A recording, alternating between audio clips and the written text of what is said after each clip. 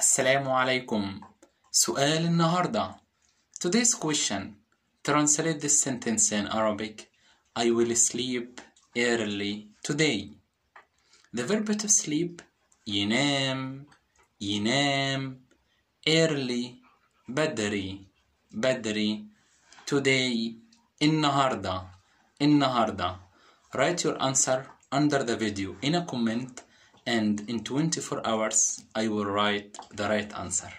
Shukran. Thank you.